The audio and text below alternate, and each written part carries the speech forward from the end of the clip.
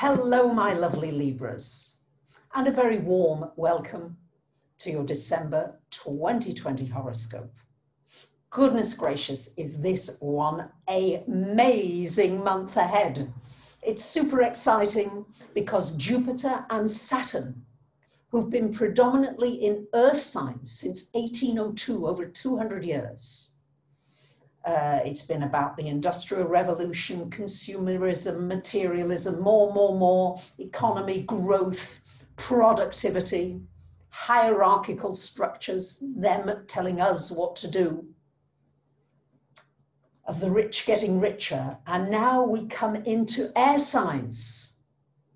It's a completely different frequency.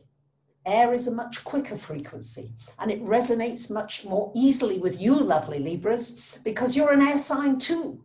So, this energy of air, it's going to be about information, it's going to be about sharing. And Libras, you're all about sharing. You're holding your hand out, wanting to share something with somebody.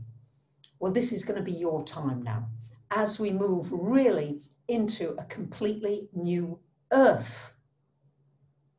It's going to be about collaboration. Please check out my separate video all about Saturn and Jupiter in Aquarius from December the 21st. How does it affect you, lovely Libras? Well, on the second of the month, we've got Mercury coming into your third house. On the 14th of the month, we've got a solar eclipse in your third house. And on the 16th of the month, your ruler Venus also joining everybody in the third house. So, what's the third house about? Because a lot of activity here. Well, the third house has to do with communications, has to do with networking, has to do with connecting with other people, far and wide, has to do with learning, teaching, sharing information, has to do with working with your mind. And you always have rather a fast mind, things moving, I've got to do this, going here, going there.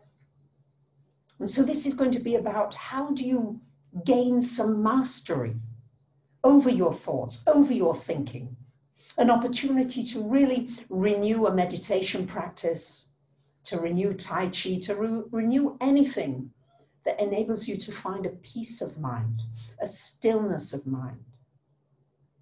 When you come from that peaceful place, there's nothing you can't accomplish, yeah?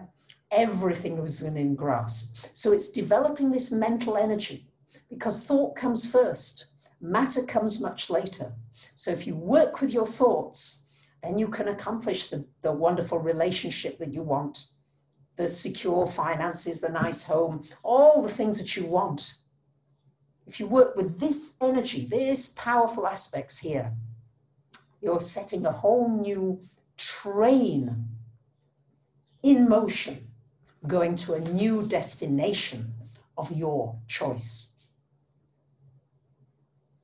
Now, on the 18th of the month, we've got Saturn coming into your fifth house, lovely Libras, and on the 20th, Jupiter, and on the 21st is the date they come together. So the focus is your fifth house. Libras, it's time to have a bit more fun. It's time to remind yourself that inside is an innate joyfulness it's only once you get into this mad thinking that you worry about the past, you worry about the future, you worry about this and that and the other.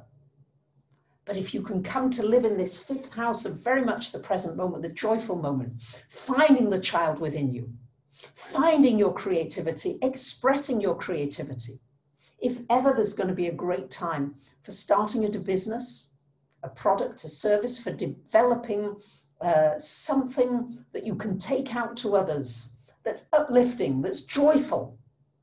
And you could create a new romance at this time a new romance with you and a new romance with a partner if that's what you are wanting. On the 22nd of the month, the Sun comes to join Pluto in your fourth house. So the fourth house shining a light on home. There may be a new development to do with family a new family member, somebody you've not seen for a while coming into your life.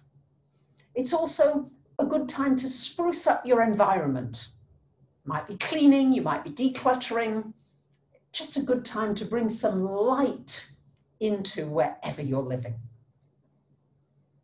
And on the 30th of the month, we've got a full moon happening up here for you in your 10th house, lovely Libras, shining a light on um, your career, what you want to do. For those of you who have a career, you might be changing career, changing direction.